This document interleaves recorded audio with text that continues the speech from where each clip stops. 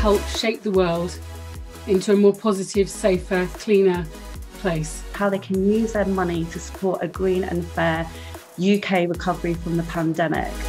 Sustainable investment products are currently the fastest growing segment of the market.